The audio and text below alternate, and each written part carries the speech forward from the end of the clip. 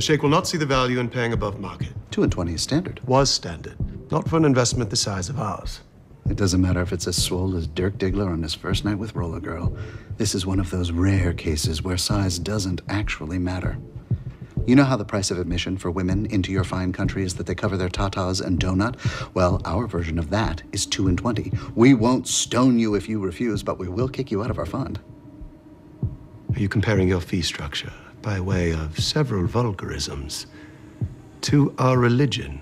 To Bobby Axelrod, fees are religion and money is his God. This makes him the perfect shepherd for you in the material world. And at least when you pray to his God, you get another fucking Bentley out of it. Look, we both know in seven to 20 years, when everything runs electric, you'll all be back to herding goats over there. So you might want to get me in front of your boss. Sadly, that will never happen if 2 and 20 is your sticking point. Now, if you're willing to. Don't even fucking think of dictating the fees, Farhad. Wags is crazy for going into an Arab consulate and talking like that. I mean, I would not be messing around with people like the Saudis. No, I, I wouldn't do that. But fees are important. 2 and 20 is important, clearly. You know, Wags and Axe, they care about it that much. So in this video, we're gonna go over what that 2 and 20 model is, how fees work in the industry, and maybe that'll explain why Wags risked his life like he did. But no, it probably won't. So with the 2 and 20 model is is that hedge fund managers and even like VC and other private equity managers, depending, you know, it's slightly different, but two is the 2% that the manager charges on total assets under management. And then the 20% is what they charge on performance. And the 2 and 20, 2% for assets under management and 20% for performance, that's pretty much standard, or at least it used to be, which we'll talk about soon. But here's an example from Investopedia. So a hedge fund manager with 1 billion of assets under management, AUM, which means they're managing a billion dollars. So under the 2 and 20 model, they're going to earn 20 million no matter what, even if the fund performs poorly, because 20 million is 2% of a billion. So that's a lot of money just from management fees. No performance whatsoever. Now that 20% profit fee is only paid once the fund achieves a level of performance that exceeds a certain profit threshold, typically around 8%. So that 20% fee is based off pure performance, which is why it's over 8%.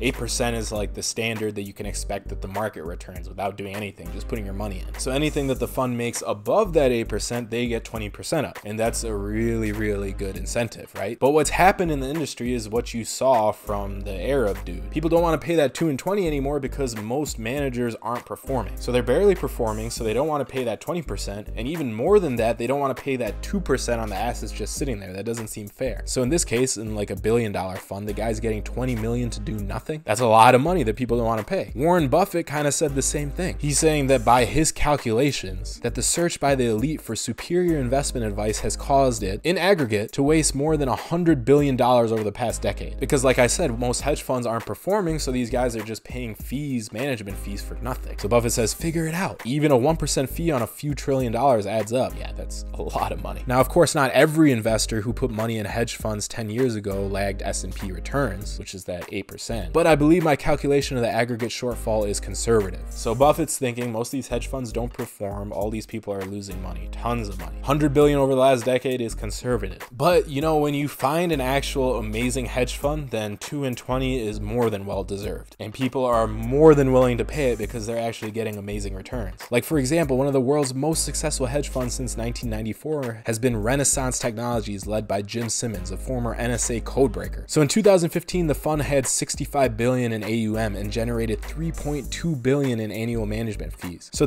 that's almost a 5% management fee, not even 2%. And because he gets such great returns, he charges a 44% profit fee. So his management fee and his profit fee or his performance fee is more than double the standard 2 and 20. And he can do this because it's estimated that his hedge fund returned an average of 71.8% between 1994 and 2014. That's insane. And the fund's worst performance between 2001 and 2013 was still a 21% gain, which is once again beating a majority of hedge funds. And then when asked by investors why his profit fee is so high, he says that, yeah, it's high. I mean, you can leave if you want, but few do. It is not easy to find an actual good hedge fund manager, especially one as great as Jim Simons. And then once it is out in the public how good you are, money is going to be flooding in. And a lot of these guys just close off their funds because they can't handle all that money. And they could charge whatever they want. Like Jim is charging crazy fees, right? But people don't care because he's the best and they're willing to pay it. When you're really, really good, assets come to you. You don't go fundraising because there's already so much money flooding in because everyone wants you to manage their money. And when you know you when you're the hot manager, when you're doing that well for that long, you dictate all the terms. They don't like it, they can leave. You got a ton of other investors willing to flood in. And I'm gonna go on a little tangent here just because Jim Simons is so awesome. But Tyler from MacroOps, he shared a YouTube video here recently on the Macro Musings that was an interview with Jim Simons. And it was surprising because Jim Simons actually had a background in fundamental discretionary currency trading before the Renaissance Technologies thing, which is all quant, which means it's all systems automatic trading. Before that, he was a discretionary trader. That's kind of crazy. So he said in that interview that his performance was good, but he couldn't handle the ups and downs that came with a discretionary approach. And I'm mentioning this because this is exactly how I felt about discretionary trading when I was doing it before I switched to a system. Now, I'm not saying I'm Jim Simons because no way, not even close to it. But I do love using my momentum system, the NASDAQ All Stars. It does have great returns, it works well, and it's easy to use. And Jim is going to explain why systematic strategies are so good. But if you want to learn more about that NASDAQ All Star strategy that I'm talking about, I actually created a video about it right here that I'll link to. You can go check it out. A lot of our members in the Fallible community really like using that system too. But anyway, Jim was saying that he didn't like the ups and downs, the emotional ups and downs that came with the discretionary approach. So one day he would walk into his office with all his positions all green and he would feel like a genius. But then the next day, everything would reverse and he would feel like an idiot. So the emotional gyrations wore him out until he finally decided to go fully systematic so he didn't have to worry about it because he would just do what the computer told him. Now, yeah, so his positions were all green one day, all red the next. And over time, he was obviously still making money. He said he was pretty good with the discretionary approach. But the process of getting those returns, the ups and downs, like that's what you can't handle. Maybe you can get through it, but maybe you just don't like it. Just me, me. I don't like it. And I was okay at getting through it. I didn't really get through it. I did, kind of. Anyway, but Tyler says that this speaks to the importance of knowing yourself inside and out if you want to have long-term success in the market. So some people need a system and other people love the flexibility and the discretion. So the key is to dabble around with small size, with small positions until you find out what works for you. Markets, a lot of it is a learning process and actually you never stop learning. But of course, it's very good when you're learning with small amounts so you don't blow out. And like Tyler says here, some people love discretionary strategies, some people love systems. I'm a systems guy. You might be different, but it's worth checking out both. And again, I have that video you can watch right up here. But anyways, back to 2 and 20. So Jim Simons is a very, very rare case. He's doing fantastic, right? So he's commanding whatever fees he wants. And that's kind of how they place Axe, right? In this show, he's the star, he's the best in the world, number one. So he should be commanding fees as well, which is why Wags was so mad, saying you can't dictate the terms. But what's happening to a majority of hedge funds in the industry is that their fees are getting cut down lower and lower because people don't want to pay for it. So in 2015, the average fee arrangement stood at 1.5% instead of 2% and 17.7% of profits. So instead of 2 and 20, it's 1.5 and 17.7. But of course, as you saw in Jim Simons' case, the top performing hedge funds still charge 20% or more. And the issue what's happening is that we're going through a cycle where a lot of hedge funds are underperforming, majority of them. And passive investing is on the rise. People love it, which is why we got all these robo advisors and low, low fees, free trading. Because passive investing has worked so well, people think, you know, it's going to work forever. Just throw your money into an index, buy the SPY. Why would you have a manager when he's not going to perform and then he's going to charge you all these fees on it? Nah, forget that. I could do it myself, which might be true for a period of time, right? But it depends on the cycle. So there is going to be a shift where buy and hold, the passive investing is not going to work for a lot of people. So when markets turn, that's when these same active managers, these hedge fund guys, they become a lot more valuable. But generally, people don't think long term, right? We're short term creatures. We're not looking past multiple cycles. Because you and I know no matter what strategy you're using in the market, it's going to have drawdowns. It's going to have periods where it doesn't work as well. Same thing with hedge funds in general. Active investing might not work as well for a period of time. Even Buffett's strategy, that didn't work well for a period of time. But the redemptions keep coming in. So many hedge funds closed down last year in 2018. It was a very, very difficult market, of course, but a lot of them shut down. And honestly, it feels like once a week you'll at least see some old hedge fund finally shutting down after two decades. It sucks. It's like a killing field out there. And you can see here from this uh, Financial Times article, hedge fund launches themselves have fallen to an 18 year low. So hedge fund portfolios delivered just 1.6% in the first 11 months of 2018. Now, like I said, that was a really extremely tough year, but it was below the expectations of 7.2%.